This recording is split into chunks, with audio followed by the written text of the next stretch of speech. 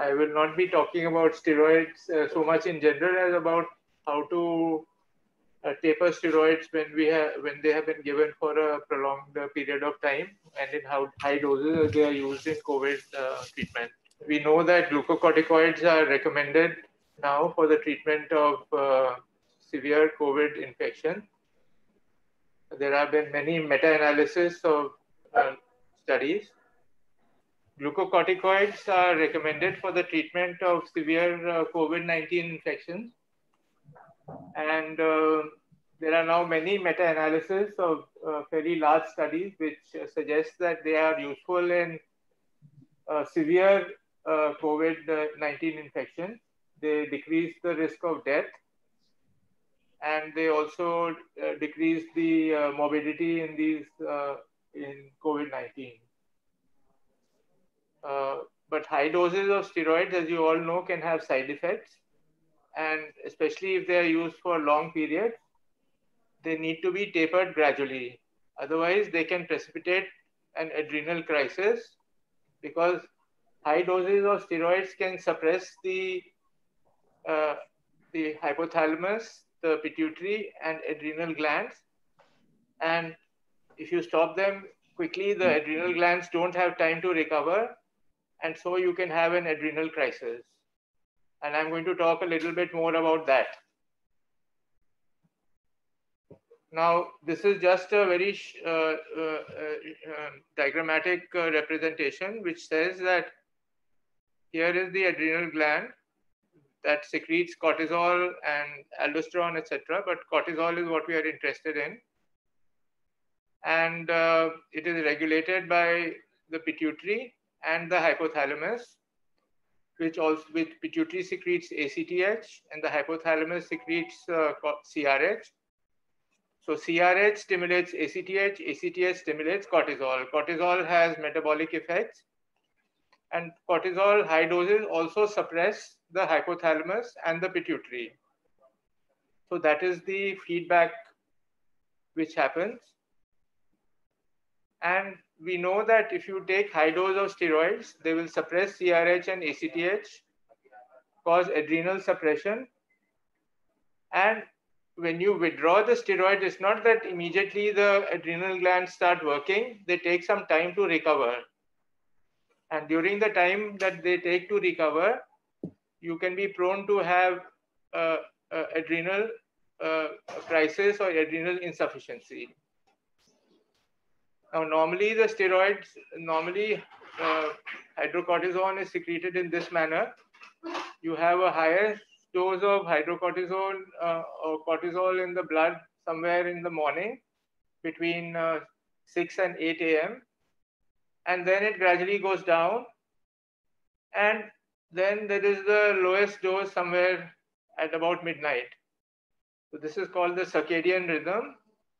And we try to, uh, when we give physiological doses, we try to mimic this rhythm. But obviously, in large doses, we are not able to mimic this. And so the steroids, they get suppressed. The axis gets suppressed. And if you take glucocorticoids at night, it causes greater suppression than if it is used in the morning. And long acting glucocorticoids cause greater axis suppression than short acting. But in case when you're using large doses of supraphysiological steroids to cause uh, immune uh, suppression, and uh, in the case of COVID 19 infection, that is really not so relevant now, steroids have, there are different kinds of steroids. And for our purpose, glucocorticoids, that is cortisol, it has many actions. It has an action on carbohydrates. It can increase glucose, lipids. It has anti-inflammatory action, which what is what we are interested in. And uh, then there are other uh, glucocorticoids which are secreted, which I will not discuss further.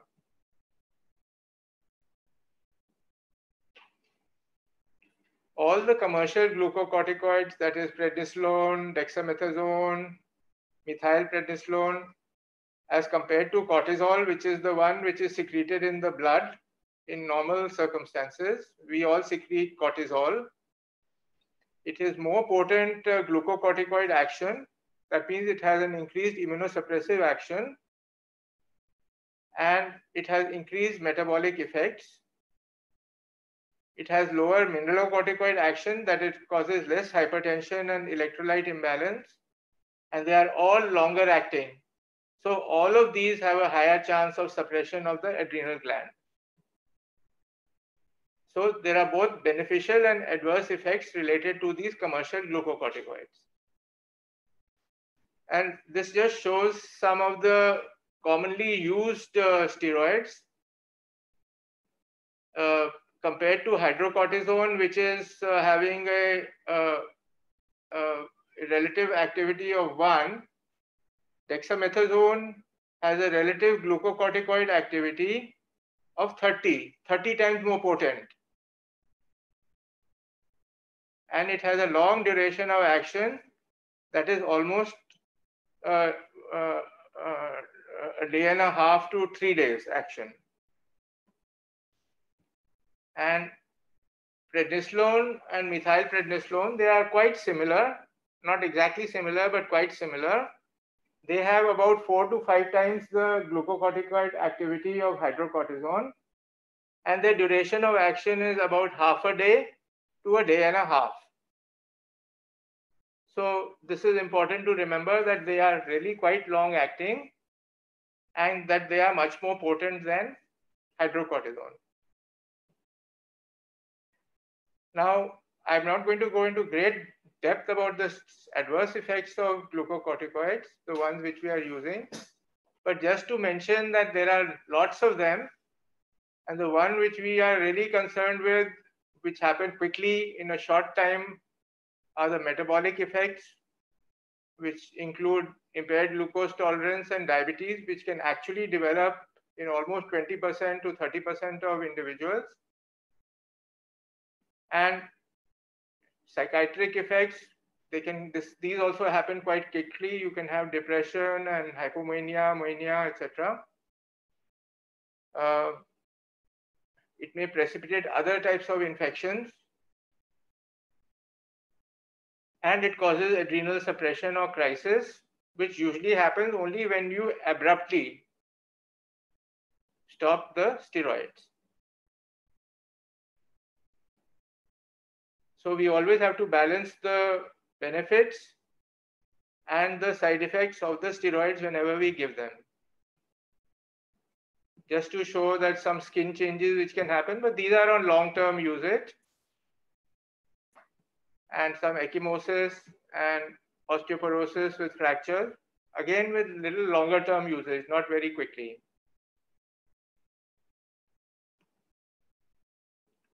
So coming back to glucocorticoid induced adrenal suppression, impaired adrenal function occurs due to supraphysiological glucocorticoids. It can happen with any dose or duration, but it is more likely with higher doses and longer acting steroids such as dexamethasone. It is less likely to happen if you are giving a short course of adrenal steroids for treatment, let's say less than 10 days or less than two weeks. And it's less likely if you use less than five milligrams a day, but of course we use much higher doses than that in our treatment of uh, patients. Uh, so that is not relevant here. And actually in clinical practice, we have to assume that adrenal deficiency can happen in anybody who is taking more than 7.5 or 10 milligrams of prednisolone for two weeks continuously. And less than two weeks, we don't think that in most cases, adrenal deficiency happens when you stop the steroid. And the symptoms happen most often when you taper the glucocorticoids too quickly, and most common when it reaches close to the physiological dose, which is about 5 milligrams per day of prednisolone. If you do this very fast, then and then somebody gets an infection or some other stress, that is the time when you can have a crisis.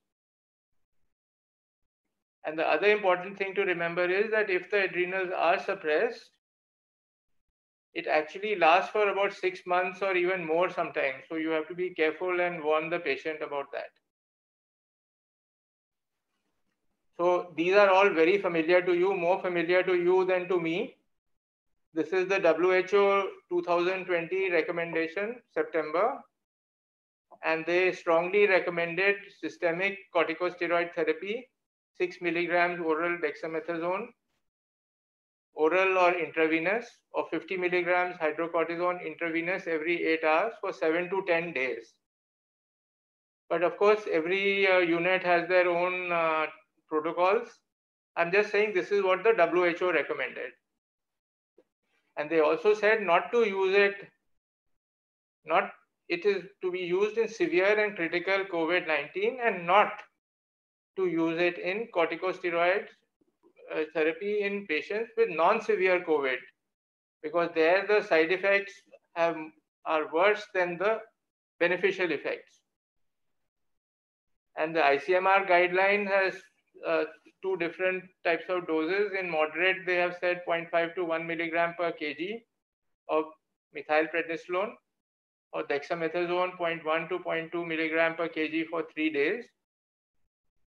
And in severe, they have written a higher dose of methylprednisolone 1 to 2 milligram per kg per day or dexamethasone 0.2 to 0.4 milligram per kg per day for five to seven days. And if now there are some new recommendations, uh, I would like to hear from you, but this is what I could get in the in the guidelines. So there is no one way to steroid, taper steroids. And we should just, principle is just to taper slowly and allow the adrenal to recover function. And we should inform the patient that adrenal deficiency, what are the symptoms, and if any of those happen, they should seek help.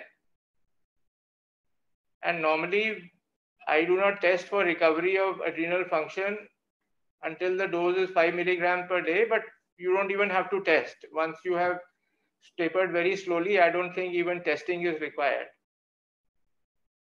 And this is one protocol which I wrote for our institute when they asked me for example, suppose the dose is 6 to 8 milligrams of dexamethasone, decadron, or between 40 to 60 milligrams of prednisolone or a little lower dose of methylprednisolone per day, and is taken for up to seven days, then no tapering is required. But if you take it for, give your patient this for more than two weeks, or you give a higher dose than this, then there is a this is the protocol. You can taper by about 5 to 10 milligrams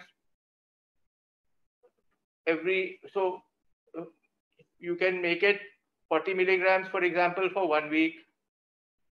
Then after one week, you can make it 30 milligrams. When you reach 20, then you can make the tapering slower.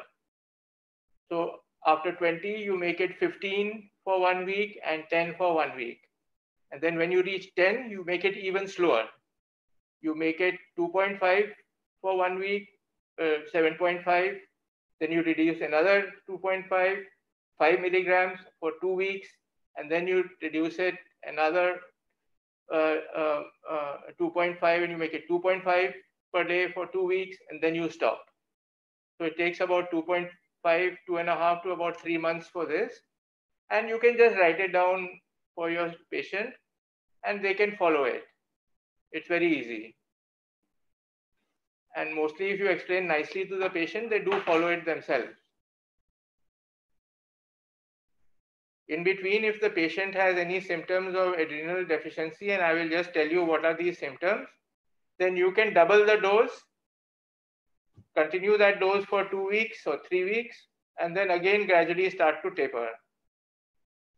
And during the time of tapering the steroid, if the patient has any stress, for example, he needs, uh, he has a road traffic accident, he has fever with temperature more than 100, or he has uh, diarrhea or something, then you have to increase the dose of steroid. And of course, if the patient has vomiting or any severe infection, or he has a severe trauma, or he requires, he or she requires major surgery, then IV hydrocortisone or IV steroids are required. Otherwise, uh, this can all, the tapering can all be done at home. The patient can be on follow-up uh, on uh, telephonically. So some of the important uh, clinical features that the patient may have, adrenal deficiency, unfortunately, most of these features are quite, uh, you know, they're not specific. So uh, uh, some of them include things like uh, nausea, vomiting, abdominal pain, and may have hyponatremia if you do a, electrolytes. So some of these things you have to have a little bit of uh, you. So the patient, if they complain that they have severe weakness, they're having nausea, they're having vomiting, some of these symptoms, then you must at least think of adrenal deficiency. And crisis, in a crisis, the patient will have hypotension and they will have an altered sensorium. In that case, you have to admit the patient into a hospital and give them IV fluids and IV steroids. So adrenal crisis is the most serious situation. Most likely it happens when high doses are stopped suddenly. It's often precipitated by stress, like I already mentioned, major surgery or severe infections, trauma. And of, of course, I mean, I, I, in, in, in contrast to what happens if, the, if you have a primary adrenal crisis, that means like you have Addison's disease, these patients don't have hyperkalemia. So they have hyponatremia, but not hyperkalemia. And you treat with IV fluids and parenteral cortisone. So whenever you are discharging the patient from the uh, from the hospital, and you must give them written advice if they have been on steroids, for example, for three weeks or so, then please give them written advice how to taper. Uh, give them your telephone contact or a telephone contact with your uh, physician or a resident that if they have a problem, they can phone up or WhatsApp the person. And you tell them that in case you have abdominal pain or vomiting, severe weakness, please double your dose wait for a day or so. If you don't improve, then please contact the hospital. And of course, if there's severe vomiting or severe, uh, if the blood pressure is low, then you must get admitted into a hospital.